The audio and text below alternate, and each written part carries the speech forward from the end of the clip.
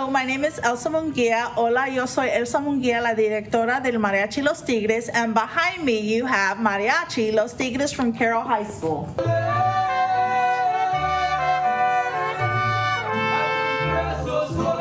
I'm Lulu Chapa. I'm Mark Yamas.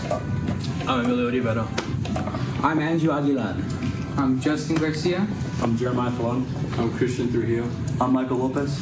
I'm Ryan Munoz. I'm Ray Morales. We are the Mariachi Los Tigres.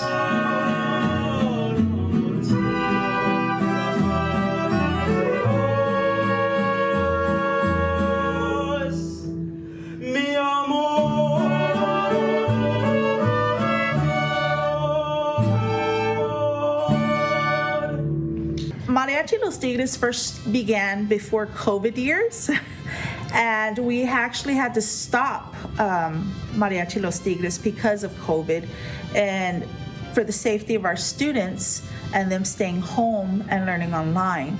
So once we got over COVID, we brought our students back together, and this is what you see today.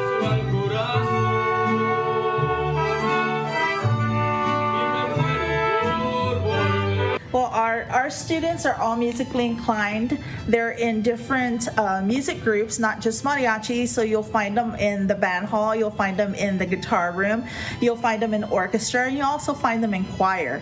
Some of them um, have taken the leap and done a little bit of acting as well. So you'll find our students are very well rounded in the arts. Um, all of them have been had a big passion for mariachi since the beginning and without them we wouldn't have mariachi los tigres today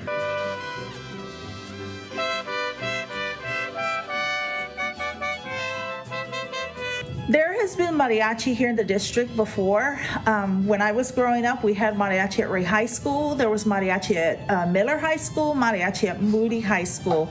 But through the years, the programs have kind of vanished as teachers moved around and others didn't take over the program and the culture and the importance of keeping a mariachi in a school. And so Mariachi Los Tigres kind of brought that back. Uh, for everyone. And so our vision was to have full-time mariachi programs at every single school. And so since Mariachi Los Tigres has began their inception of playing, um, all the other high schools have kind of jumped on board. And the last school to get mariachi is going to be Veterans High School this year.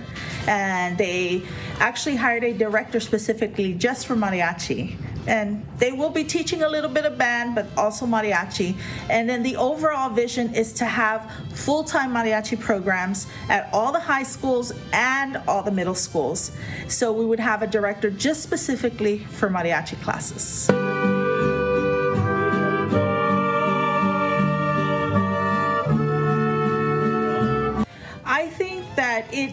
of draws everything together. A lot of times, our students are not aware of the history of their ancestors and the journeys that they took to be here in this country. And a lot of our music is very rich in culture and tells a lot of the stories about those journeys that our families took.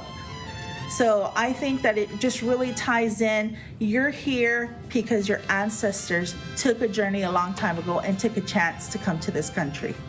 If your son or daughter is interested in taking mariachi here at Carroll High School, uh, it's as easy as contacting the school and they will contact me and I will be happy to answer any questions you might have.